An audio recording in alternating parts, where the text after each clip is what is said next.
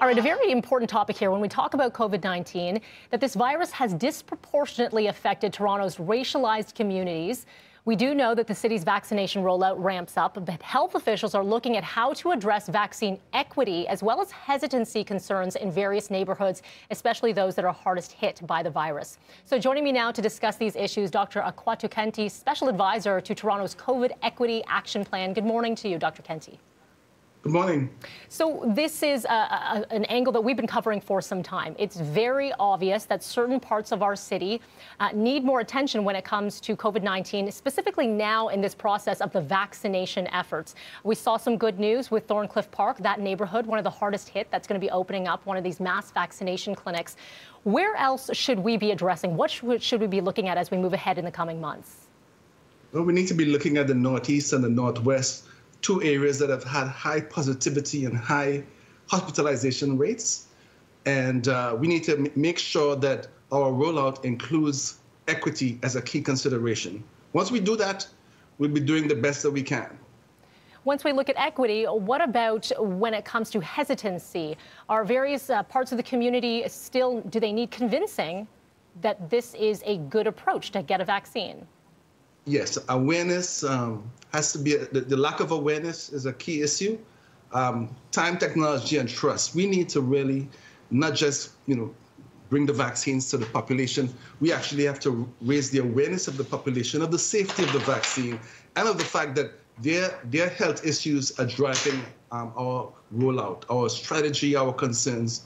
We'll, you know, long-term care, seniors, and now we're looking at marginalized, racialized populations that are at higher risk, not through any fault of their own, but through a mix of occupation, poverty, need for public transit, and limited sick days. That, that's the key one here when we're looking at these uh, paid sick days. Is there still a push to the province to make this happen? There is still a huge need. One of the reasons a lot of people don't get tested is simply because there's no um, means to take care of their bills um, no sick days, no income source. Um, and, so they, they don't they don't go and get tested because they, you know they've they'll pass through the COVID, but some don't, and that's the reason why we really need to get um, adequate sick days. Ten days during a pandemic, five days in regular times.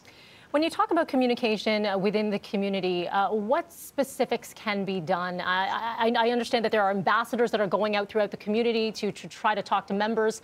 Um, how does that all work?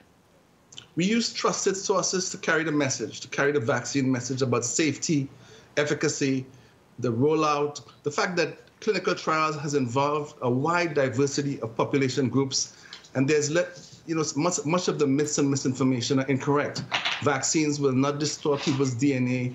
Vaccines will not kill you. Vaccines will not uh, reduce the chances of having a baby.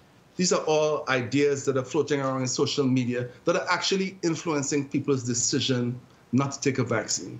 But most people, when presented with scientific facts from a trusted source, um, will change their minds, will make the right decision. And that's all we're trying to do, really um, allow people to have the right balance of information that they can make informed decisions about taking a vaccine. Indeed, very important, and, and, making it available for those who want to have it, right? Uh, Dr. Khenti, I wish we had more time, but we've just run out. But I appreciate you taking the time with us this morning. Thank you. Thank you.